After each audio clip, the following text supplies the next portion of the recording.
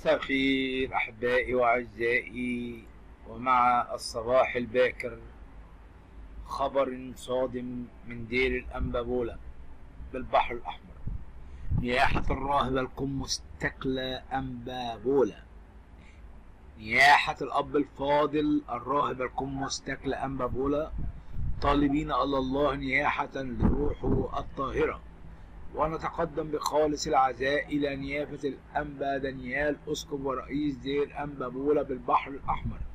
ومجمع رهبان الدير في وتعزيات السماء لأولاده ومحبيه. أولاده في الرهبنة حتى لا أحد يفهم شيئا غلط.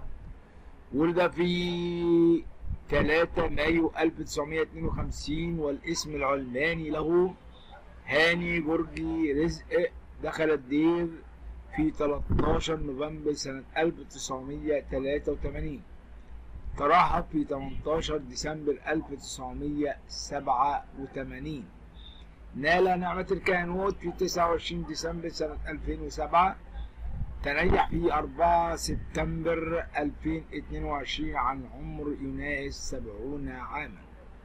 رحم الله هذا الراهب الفاضل الكريم.